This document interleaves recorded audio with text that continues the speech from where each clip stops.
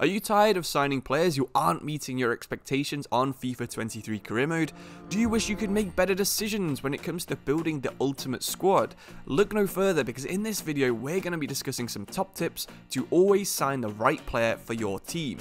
From researching a player's track record to considering how they'd fit in with your style of play, we'll cover all of the key factors to consider when making a signing. And if you follow these tips, you can ensure that you're making an informed and successful transfer decision every time for FIFA 23 career mode. So let's get started. A lot of these tips will be assuming you fully scouted the player, so make sure you do that before even trying to sign someone, because that is by far the most important part of signing a player. From fully scouting a player, you'll be able to see some pretty important information. The first thing I always look at every single signing is to see if they have the injury prone trait. A couple of the best talents in the world at the minute have this trait. For example, Ansu Fati at Barcelona's had it for a couple of seasons, and Youssoufa Moukoko was given it this season at Borussia Dortmund. These two players are players that will cost you about 50 to 100 million pounds depending on how far you are in in your career mode. So if you're buying a player for this much money, you don't want someone who's going to be constantly injured, not being able to play, and you're just going to be giving them big wages to sit on their bums on the bench. Of course, the fact that they are injury prone doesn't mean they always will be. They can still do full seasons, and if you do judge that the risk is worth it, the next thing I think you should look at is the player's physical abilities and their fitness level. So of course, fitness level isn't really related to being injury prone. You can be super fit, be able to run 50 kilometers a day, but still have really dodgy hamstrings. So if you're looking at physical abilities, that kind of depends on what league you're in. If you're in the MLS, you need players with probably about 70 pace. If you're in the Premier League, I'd probably go up to 80 to 85 in basically every single position except for centre back and goalkeeper. The physical ability is a huge part of FIFA. I'm sure everybody knows this. A fast player in any league is always going to dominate. So have a look, make sure the player has got enough pace, or if they're older, make sure their technical ability is good enough to compensate for this pace. For example, you can have a centre back with really, really high positioning but low pace, they can still be effective. But if it's a young player with low pace and they still haven't learned how to position themselves well, I would at this point then avoid signing the player. This is also the stage where I'd start to look at work rates. For example, in my midfield, I like to always have someone with high defensive work rates and two players with high attacking and high defensive work rates. This means that two of these players need to have really high stamina. If they've already got these work rates, they're going to be getting up and down the pitch the entire match. The defensive player doesn't need quite as much fitness, so I wouldn't really incorporate that much in this area. So depending on the position you're looking for, make sure they'll fit in with how you like to play. If you're playing gegenpress like Jurgen Klopp at Liverpool, constantly pressing, every position will need loads of stamina. If you're playing something a bit more possession based, maybe you can avoid this stage and just go straight into looking at their technical abilities, which in my opinion is the third thing you should look at before signing every single player. We've all seen players out there who have got really good physicals but absolutely terrible stats in their technical area. For example, you might be interested in signing someone like Daniel Podence, who plays for Wolverhampton Wanderers. This guy has all the stats to be a really good winger and potentially even a really good striker. He's got 86 dribbling, he's got 94 acceleration, 92 agility, and 82 ball control. You're thinking maybe this guy could be the guy through the middle and he'll dominate the Premier League.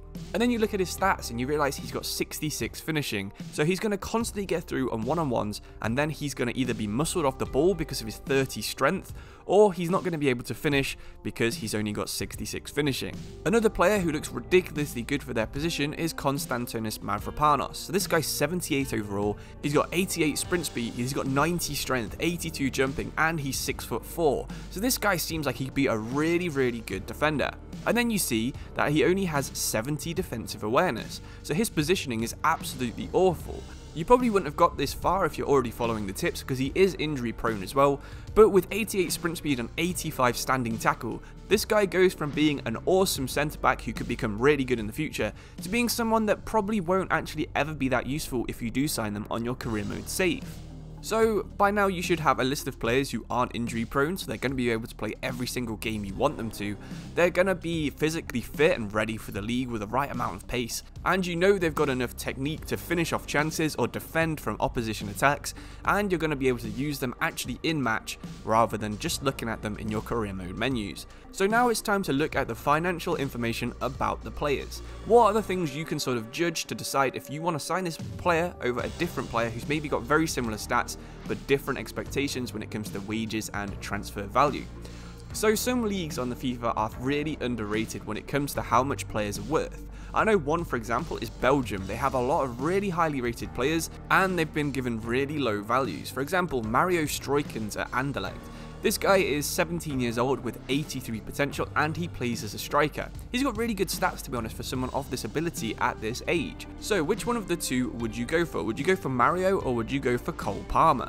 Well, of course, the good option would be probably trying to go for Mario because his wage is 1,000 euros per week, whereas Cole Palmer's getting that 20,000 euros per week. You're getting such a better deal with Mario because you're going to be saving around a million pounds a year just by signing him instead of going for Cole Palmer, despite, like I said, them having very, very similar stats, attributes, and potential. One thing we've just looked at here is potential and age, which are again two very important things every time you're signing a player. A lot of the older players on FIFA have really important stats that you can't find on some of the younger ones. For example, composure is a stat that just goes up every single season as you progress throughout your career mode. High composure means your players will perform better when under pressure from either pressing players or in a high pressure situation like a penalty shootout, so you do need some of these players in your squad.